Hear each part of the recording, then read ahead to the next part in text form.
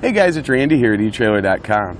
Now, oftentimes we get questions about trailer security and what we feel like are the best way to keep your trailer secured, whether it's out in your driveway just overnight, maybe you've got it in storage and you just want to make sure it's protected. I really like this style of lock. This is one from eTrailer. So you can see this is a slide-on coupler lock. It's designed for use on flat lip trailers. Let me get this opened up. You see just a nice flat lip around there. This is going to be the perfect situation. You can see got those narrow guides. It's going to slide in and on. Simply push up on the stud and rotate the key. At that point, you're nice and secure. Now they've designed these in two sizes. This is for inch and 7 eighths and 2 inch trailers. This one's going to be for 2 inch and 2 and 5 16 inch trailers. I like that we have specific sizing like that. That helps to ensure that we have a nice snug fit. Anytime they fit on there snugly, it's going to reduce the risk anybody can get something in there and kind of pry on it and get leverage enough to get it off. Also, when designing this, we made sure that the end was sealed on this one. Unlike other ones of this type, you'll notice that that's kind of open. When it's open like that, it allows you to get a pry bar in there and you can start working on that a little bit. So really tried to make sure that we had this exactly how you're gonna want it. Now regardless of what size that you're gonna need, we have it available in two colors. We have the powder coat silver here, powder coat yellow here.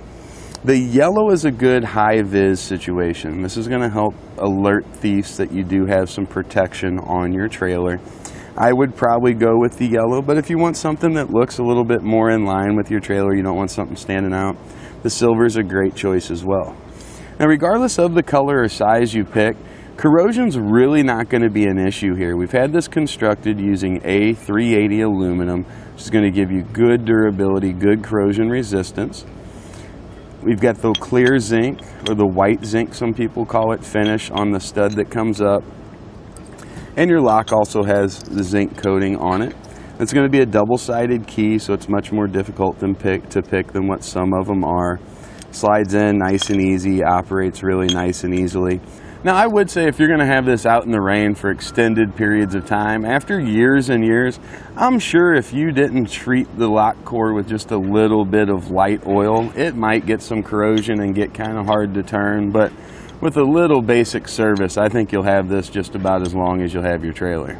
Now the way it works is once we slide this on our coupler, you can see the pin here in the middle. That just comes up and it keeps that from being pulled or moved off. At that point, we turn our lock and everything's secured. We can pull out our key at that point, which it is going to come with two.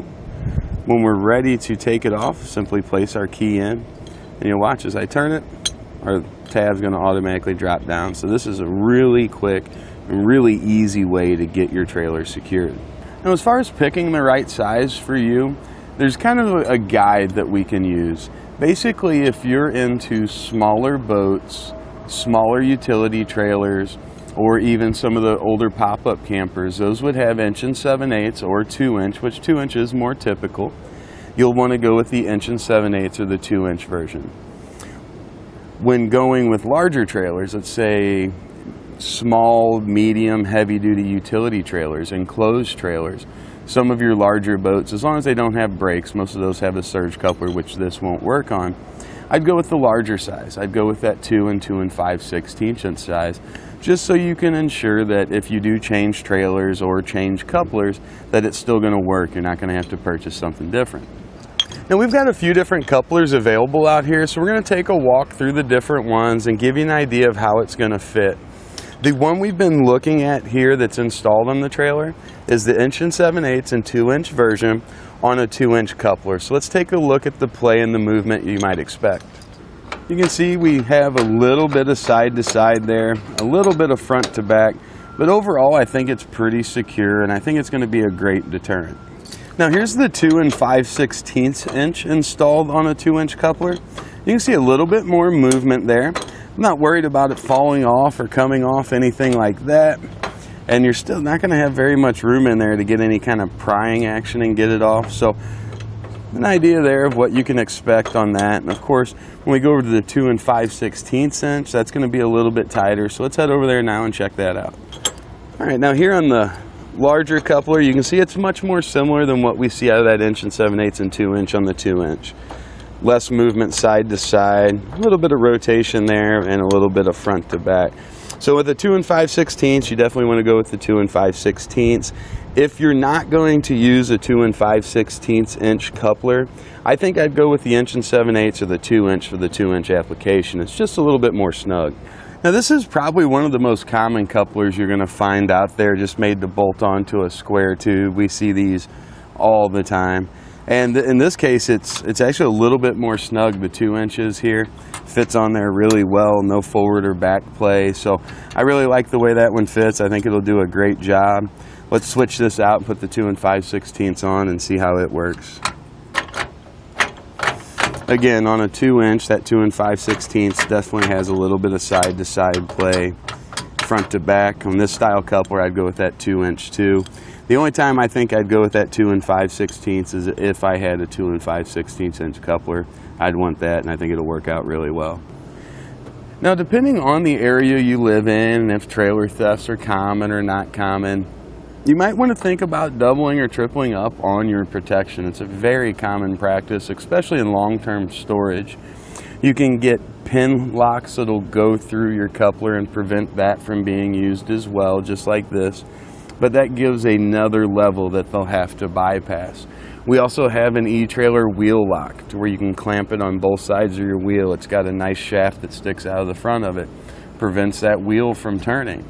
Now the good news is these can all be keyed alike. So you get this, you get that pin, you get that wheel lock.